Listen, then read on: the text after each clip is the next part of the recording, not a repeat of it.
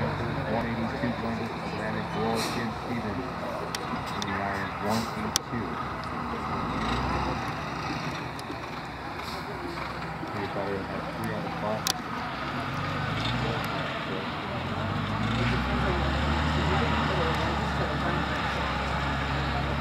Thank you.